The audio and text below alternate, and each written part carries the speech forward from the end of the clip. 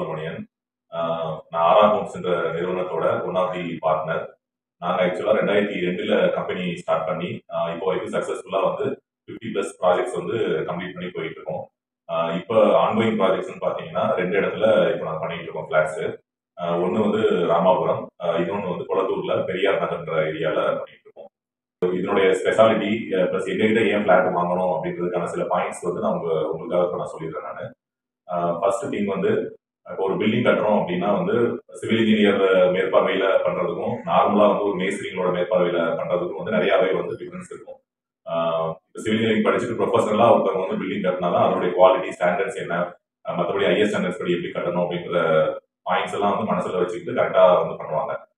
இப்போ எங்களோடது வந்து நாங்கள் ஸ்டெப் பை ஸ்டெப்பா எப்படி போ போவோம் அப்படின்றத வந்து நான் ஒரு பிரீஃபா வந்து நான் உங்களுக்கு சொல்லிடுறேன். இப்போ நாங்கள் ஒரு இடத்துல வந்து பில்டிங் கட்ட போறோம். ஒரு ஸ்கில்டு பிளஸ் த்ரீ ஃப்ளோர்ஸ் வந்து ப்ராஜெக்ட் பண்ண போறோம் அப்படின்னா முதல்ல இடம் பார்த்து எல்லாம் ஓகே ஆனதுக்கு அப்புறம் எப்படி ஸ்டார்ட் பண்ணுவோம் அப்படின்னா ஃபர்ஸ்ட் வந்து சாயில் டெஸ்டிங் சாயில் இன்வெஸ்டிகேஷன் இப்போ அந்த இடத்துல வந்து ஒரு கம்பெனி வச்சு சாயில் இன்வெஸ்டிகேட் பண்ற கம்பெனியை வச்சு நம்ம அந்த சாயில் டெஸ்ட் எடுத்து அதை அவங்க வந்து இன்வெஸ்டிகேட் பண்ணி அந்த பிளேஸ்ல வந்து என்ன மாதிரி சாயில் இருக்கு அப்போ அங்கே எத்தனை ஃப்ளோர் ஃப்ளோர்ஸ் வந்து நம்ம கட்ட முடியும் அதுக்கு என்ன டைப் ஆஃப் ஃபவுண்டேஷன்ஸ் வந்து நம்ம போடணும் அதே மாதிரி டெப்த் ஆஃப் ஃபவுண்டேஷன் இப்போ இருக்கிற கிரவுண்ட் லெவல்ல இருந்து எவ்வளோ டெப்த் ஃபவுண்டேஷன் போகணும் அப்படின்ற டீடைல்ஸ் எல்லாமே வந்து அவங்களே வந்து ரெஃபர் பண்ணுவாங்க. அந்த ரிப்போர்ட்டை பேஸ் பண்ணி எங்களுடைய ஸ்ட்ரக்சரல் கன்சல்டன்ட் எங்க கம்பெனிக்குன்னு தனியாக ஸ்ட்ரக்சரல் கன்சல்டன்ட் இருக்காங்க. அவங்க வந்து கம்ப்ளீட்டாவே வந்து பில்டிங்க்கான ஸ்ட்ரக்சரல் டிசைன் பண்ணி ஃபவுண்டேஷன்ல இருந்து ஒவ்வொரு ஃப்ளோர் ரூஃபுக்கான ஒவ்வொரு ஃப்ளோருக்கான ரூஃப் ரூஃபுக்கான டிராயிங்ஸ் மேல வாட்டர் டேங்க் டிராயிங்ஸ் ஏன் சின்னதா வந்து நம்ம ஒரு லிண்டல் அந்த சன்ஷேடு லாஃப்ட் அந்த மாதிரி விஷயங்களுக்கு கூட வந்து நம்ம அவங்களோட அவங்க கிட்ட நம்ம டீடைல்ஸ் வாங்கி கரெக்டா என்ன மாதிரி ரீஎன்போர்ஸ்மெண்ட் அதாவது என்ன மாதிரி கம்பி யூஸ் பண்ணணும் என்ன சைஸ் ஆஃப் கம்பி யூஸ் பண்ணணும் அப்படின்றதெல்லாம் வந்து அதை பேஸ் பண்ணி தான் நம்ம பண்ணுவோம்.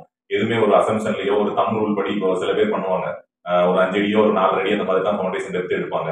அது ஒரு ஒரு பேருக்குனால ஒரு நாலு கம்பி இருக்கும் ஒரு ஆறு கம்பி யூனிஃபார்ம் டயால வந்து போட்டு பண்ற மாதிரியும் வந்து பண்ணுவாங்க. இப்போ நம்ம வந்து அந்த மாதிரி பண்றது கிடையாது. ப்ரொஃபஷனலா வந்து ஆக்சுவலா என்ன பண்ணணும் அப்படின்றத டிசைன் பண்ணி நம்ம வந்து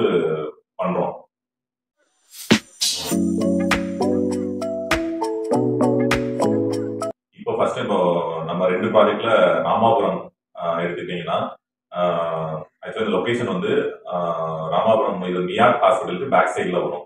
அந்த ஏரியா வந்து உங்களுக்கு ராயலா நகர் செகண்ட் மெயின் ரோட்ல நம்ம ப்ராஜெக்ட் வந்து அமைச்சிருக்குது இதுவும் வந்து stilt plus three floors one கிரவுண்ட்ல பிளான் பண்ணியிருக்கோம் கீழே ஃபுல்லாக கவர்டு கார் பார்க்கிங் ஒரு ஃப்ளோருக்கு ரெண்டு ஃபிளாட் டோட்டலா வந்து ஆறு ஃபிளாட்ஸ் இந்த ஆறு ஃபிளாட்ஸ்ல வந்து இப்போ நம்ம கிட்ட வந்து தேர்ட் ஃப்ளோர்ல ரெண்டு ஃபிளாட் வந்து சேல்ஸுக்கு இருக்கு.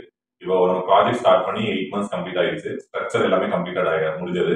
இப்போ நெக்ஸ்ட் வந்து இந்த மந்த்ல வந்து நம்ம ஃப்ளோரிங் அண்ட் பெயிண்டிங் ஒர்க் அதுல இருந்து ஸ்டார்ட் பண்றதா இருக்கோம். மேபி உங்களுக்கு மே எண்டுக்குள்ள வந்து நாங்கள் ஃபிளாட் வந்து ஹேண்ட் ஓவர் பண்ணிடுவோம். இப்போ அதுல பாத்தீங்கன்னா ரெண்டு ஃபிளாட்டும் வந்து சைசஸ் எடுத்துக்கிட்டீங்கன்னா ஒன்று வந்து eight fifty five square feet super built up area இன்னொன்று வந்து நைன் ஹண்ட்ரட் ஸ்கொயர் ஃபீட் ரெண்டு ஃபிளாட் அவைலபிளாக இருக்கு. எயிட் ஃபிஃப்டி ஃபைவ் ஸ்கொயர் ஃபீட்ன்றது வந்து நார்த் ஃபேசிங்கா வரும். நைன் ஹண்ட்ரட் ஸ்கொயர் ஃபீட்ன்றது வந்து ஈஸ்ட் ஃபேசிங்ல வரும். உங்களுக்கு பிளான் பார்த்தீங்கன்னா எல்லாமே மோஸ்ட்லி வந்து நாங்கள் எல்லாமே வாஸ்து அஸ் பர் வாஸ்துபடி தான் இருக்கும். ஒரு ஹால் கம் டைனிங்கு ரெண்டு பெட்ரூமு ஒரு காமன் டாய்லெட் ஒரு அட்டாச்சு டாய்லெட் ஒரு பால்கனி கிச்சன் இந்த மாதிரி ஒரு பிளான் அமைப்போட பிளாட் இருக்கும்.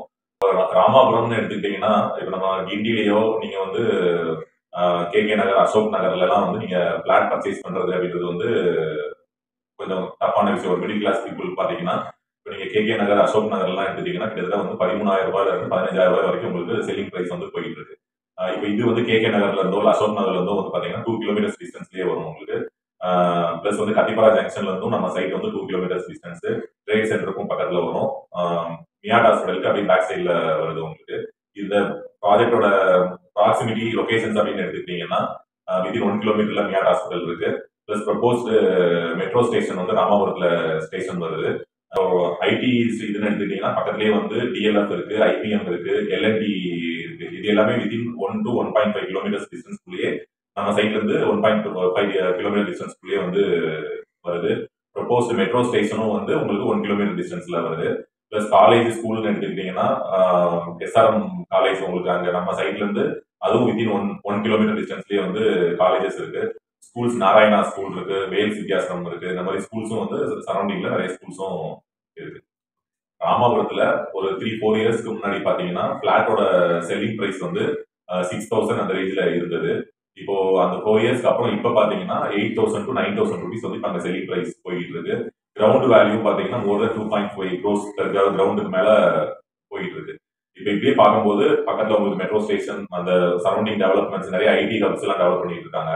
இதெல்லாம் வச்சு பார்க்கும்போது உங்களுக்கு கண்டிப்பா வந்து ஒரு டூ த்ரீ இயர்ஸ்ல வந்து இந்த ரேட் வந்து இன்னும் ஒரு fifty percent to hundred percent increase ஆகிறதுக்கும் வாய்ப்பு